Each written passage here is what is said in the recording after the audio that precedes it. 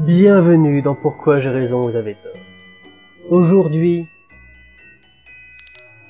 Tim Burton.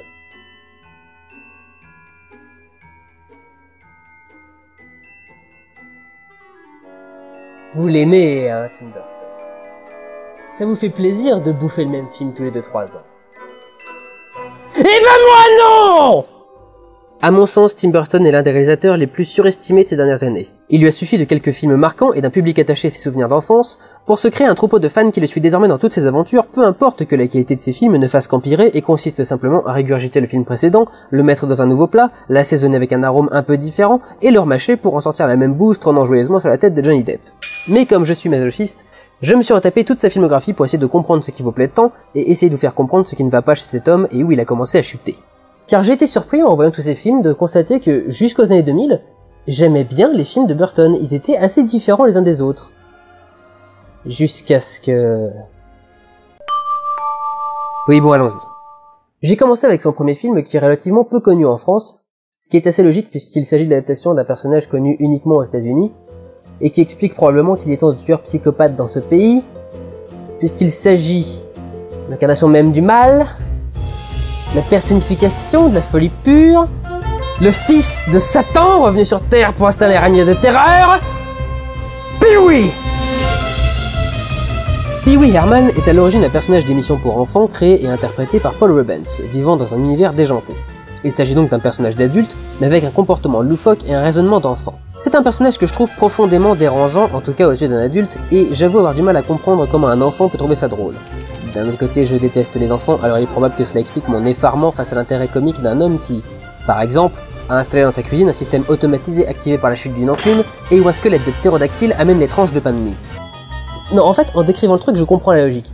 Ils ont récupéré tout ce que les enfants adorent et qu'ils vont aimer voir à l'écran. Mais tout de même, est-ce que ça explique la présence d'un automate flippant de Abraham Lincoln et le fait que la pâte à pancake se soit versée par un angelot? Franchement, quand je vois cette scène, je n'imagine pas la musique de Danny Elfman, j'imagine la musique d'un film de Dario Argento.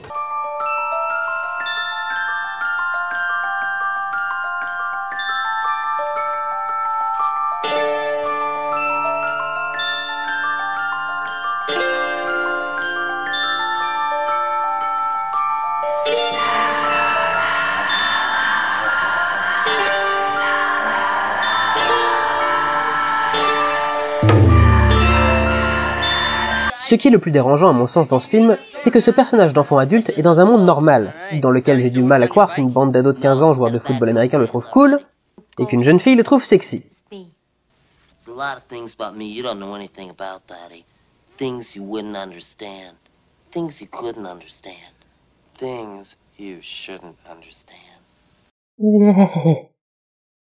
Quand on sait que l'acteur créateur de Pee-wee a été arrêté deux fois pour des scandales sexuels dont l'un possiblement pédophile, duquel il a été heureusement blanchi, ça fait encore plus froid dans le dos comme réplique. Pee-wee's Big Adventure est le premier passage du personnage au grand écran, ce qui lui permettra ensuite d'avoir droit à sa série télé.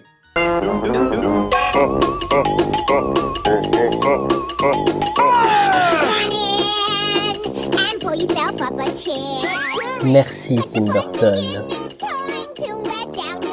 L'histoire est plus que simple. Pee-wee adore son vélo, mais un gosse de riche voudrait l'avoir également. Il engage donc un gangster pour le subtiliser. Pee-wee va aller se confronter à lui pour le récupérer, mais il n'ira en bloc. Effrayé par cette intervention, il va cependant demander à son homme de main de s'en débarrasser. Pee-wee va alors voir une diseuse de bois d'aventure menteuse qui lui inventera une histoire qui, par coup de chance, s'avérera être vraie. Le film devient alors un road movie dans lequel Pee-wee parcourt le pays en stop et rencontre des personnages hauts en couleur un prisonnier en fuite, le fantôme d'une camionneuse morte dans un accident, une serveuse qui rêve d'aller à Paris et son petit ami jaloux et violent, ainsi qu'un gang de motards avant de finir son voyage à Hollywood et de sauver les animaux de l'incendie d'une animalerie. Alors bien sûr, quand on réalise un film sur un personnage créé, écrit et joué par le même homme, on risque forcément de pas avoir beaucoup de liberté. La plupart des défauts du film proviennent probablement plus de l'écriture de Paul Rubens que des choix de Burton. Enfin, L'écriture de Paul Rubens.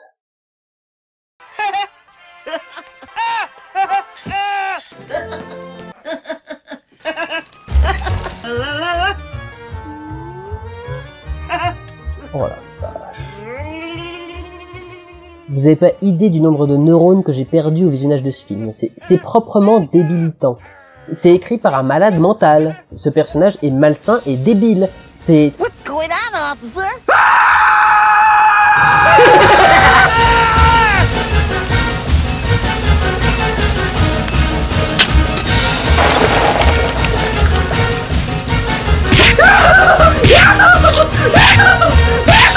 Do you know what stage Kevin Morton is working on? Yeah, it's uh, stage six.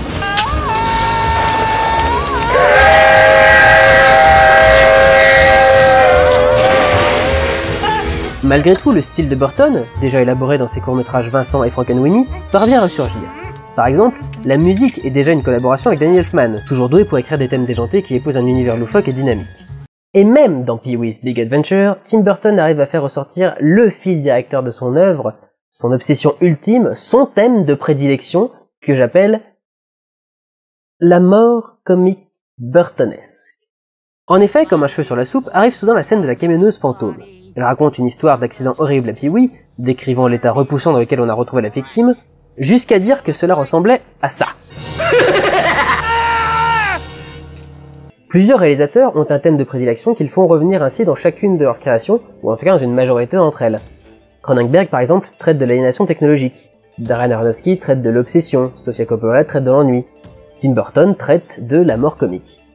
Il commencera principalement à aborder ce sujet dans son deuxième film, le mal nommé Beetlejuice. Je vais vous rassurer tout de suite, globalement, j'aime bien Beetlejuice.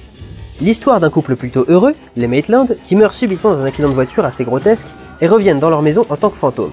Ils vont se faire envahir par une famille de bobos juifs new-yorkais, les Dietz, dont la fille Lydia, jouée par la toute jeune Winona Ryder, est la seule mortelle à pouvoir les voir. Très mécontents des nouveaux occupants des lieux, ils suivent alors les conseils du guide pour les personnes récemment décédées et mettent tout en œuvre pour les effrayer et les faire partir. Ils ne sont malheureusement pas très doués, oubliant tout simplement qu'ils ne sont pas visibles.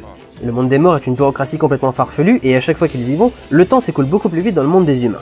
Désespérés, ils finissent par faire appel à l'exorciste d'humains Beetlejuice. Mais ces méthodes leur sembleront tout de même un peu trop radicales. Ils vont donc choisir de régler sa part même en possédant les humains. Mais comme ce sont les êtres les plus niais que j'ai jamais vus, ou presque, leur méthode pour les effrayer n'est pas de leur faire faire quelque chose de terrifiant, non, non, non. C'est de leur faire danser sur un tube de l'époque, Day-O.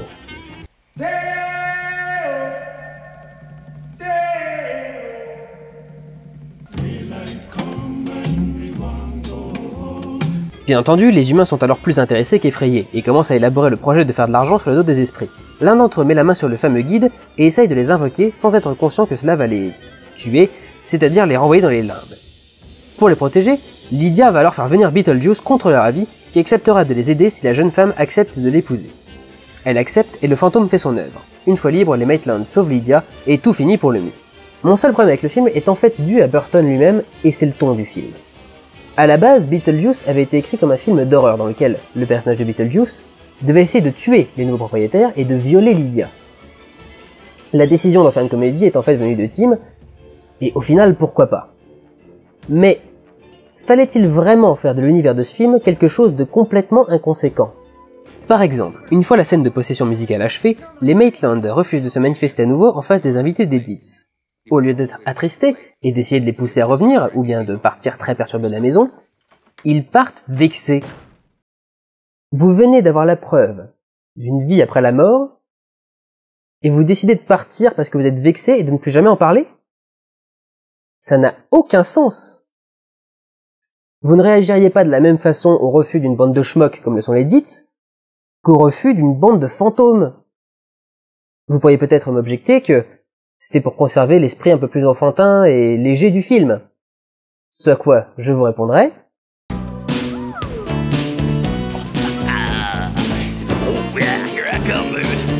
Je ne suis pas sûr que les enfants comprennent l'intérêt comique de la présence d'une maison close, ni les nombreuses allusions au cul que fait Beetlejuice pendant le film. Si on peut garder des références aussi adultes, on ne peut pas conserver des réactions aussi incohérentes de la part des personnages. Mais ce qui me dérange le plus dans Beetlejuice, c'est quand même son titre. Quel système de logique peut pousser quelqu'un à accorder au personnage qui donne son titre au film 17 minutes 30 de temps d'image sur 92 minutes et un rôle quasi tertiaire? Si on doit suivre une logique pareille, je vous conseille le visionnage des films suivants L'Oracle des Wachowski, Norme de James Cameron et Lucien Cheval de Francis Weber. Je ne comprends vraiment pas pourquoi ce film s'appelle Beetlejuice. En plus d'être présent que dans à peine un quart du film, il ne sert absolument à rien au niveau de la progression scénaristique. Au pire, c'est une péripétie parmi tant d'autres. Le film aurait très bien pu s'appeler Les Dites ou encore euh, Les Maitlands. D'ailleurs, j'ai découvert en faisant quelques recherches que les dirigeants de Warner n'aimaient pas non plus le titre, et ont songé à rebaptiser le film House Ghosts, ce qui veut dire fantôme de maison. Certes, ça a moins de classe, mais franchement, j'aurais trouvé ça complètement justifié. Le film marque une nouvelle fois la collaboration de Burton et Elfman, qui crée avec ce film une des musiques les plus marquantes de l'histoire du cinéma, ce qui sera souvent le cas quand ils seront ensemble. Le thème de Beetlejuice incarne parfaitement l'idée d'une fanfare des enfers qui accompagne la venue des esprits malins sur Terre en grande pompe. Globalement, le film est une assez belle réussite, avec des effets spéciaux en plastique et son univers assez nouveau. Pour l'époque. C'est après le succès de Beetlejuice que les studios ont confié à Burton la lourde tâche d'adapter le comics Batman au cinéma. Je vous en parlerai cependant plus tard dans une vidéo qui reviendra sur chacun des films. Je vais donc passer directement au suivant, qui, je l'admets bien volontiers, est un excellent film, Édouard aux mains d'argent. Quand j'ai vu le film plus jeune, j'avais adoré. Plus vieux, j'avais émis des doutes. Et finalement, quand je l'ai revu pour les besoins de cette critique, j'ai été à nouveau conquis. L'histoire de ce conte horrifique est celle d'un être artificiel nommé Edward, interprété par Johnny Depp, qu'un scientifique joué par le légendaire Vincent Price, dont Burton est fan, a créé et élevé comme s'il était son fils. Il lui a offert un corps, un cœur, un esprit, et lui a appris à aimer et à apprécier la poésie et la beauté des choses. Il est malheureusement mort avant d'avoir pu lui parler du monde extérieur et d'avoir pu lui donner un élément essentiel pour créer, ainsi que pour transmettre et ressentir des émotions, les mains. Après avoir vécu longtemps dans la solitude du manoir de son créateur, il en est sorti lorsqu'une femme nommée Peg Boggs, en quête de clients auxquels vendre ses produits cosmétiques, s'aventure dans la demeure et le trouve. Elle va prendre la décision de le ramener avec elle dans l'antre des enfers aux yeux de Burton, la banlieue américaine.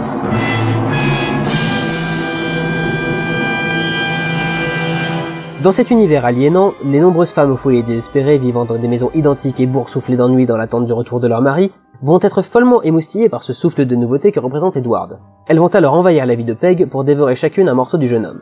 Car si ses mains ne lui permettent pas d'écrire ou de caresser, elles lui permettent de sculpter. D'abord des haies, puis des chiens, et enfin les cheveux. Elles vont ainsi commencer à pervertir son art pour en tirer leur plaisir personnel, le point culminant étant atteint lorsque des jeunes du quartier vont utiliser ses mains pour crocher des serrures et voler quelque chose qu'ils auraient pu obtenir par eux-mêmes s'ils avaient la moindre trace de volonté et d'expression personnelle. Ici, les clés de la voiture du père de Jim. Jim est le petit ami de Kim, la fille de Peg, joué une nouvelle fois par Winona Ryder, dont Edward va tomber amoureux au premier coup d'œil. D'abord craintive, elle comprendra petit à petit l'univers du garçon et se laissera totalement charmer. Pour finir, les habitants de la petite banlieue chasseront Edward jusque dans son ancienne demeure, où il restera réfugié, après avoir tué Jim dans un cas de légitime défense. Il est étonnant de noter qu'en fait, les films que j'aime le plus de Burton sont ceux qui parlent le plus de lui et de sa condition d'artiste. Edward aux mains d'argent et Ed. Car dans ce film, Burton parle clairement de lui-même. Déjà, lui et Edward partagent la même hérésie capillaire. Mais surtout, ils vivent la même chose. Tous deux sont des artistes que la société de consommation américaine va aduler et s'approprier pour sa marginalité, jusqu'à ce qu'ils réalisent qu'ils ne peuvent pas le contrôler et le plier à leurs désirs, et que cette marginalité le rend inadapté à notre société trop limitée. Devenant ainsi trop différent pour eux, ils s'en éloignent et finissent par le rejeter et le détruire. Malheureusement, l'avenir montrera que Burton n'était pas l'artiste incorruptible qu'il pensait être à l'époque. En restant dans l'optique d'un conte, on peut trouver différentes interprétations des personnages. Peg serait une forte de bonne fée ou de Jiminy Cricket, les femmes de la banlieue et des sorcières qui lancent des sorts avec leurs ragots téléphoniques, et Kim, la belle princesse à conquérir. Je pense que le film étant de toute façon une réussite, dans lequel Burton expose très bien son idée, seuls les mots que l'on mettra sur notre idée et les références que le film nous évoquera différeront selon notre culture personnelle. Parmi ces messages se trouve la critique de la société de consommation, qui ingurgite les individus sans se soucier d'eux, n'y voyant que ses intérêts personnels, sans penser à ce que vivent les gens qu'elle dévore. Comme le dit cette réplique qui revient plusieurs fois au fil du film, Personne ne va jamais véritablement lui présenter ce docteur, car c'est sa différence qui le rend intéressant à leurs yeux, et ils préfèrent cette gentillesse de façade plutôt que de voir disparaître une telle source de divertissement. Le film est avant tout une invitation à la création, à développer son univers et à se protéger des dogmes et des limites imposées. À protéger le petit monde que l'on crée dans sa tête et ne laisser personne essayer de le pervertir.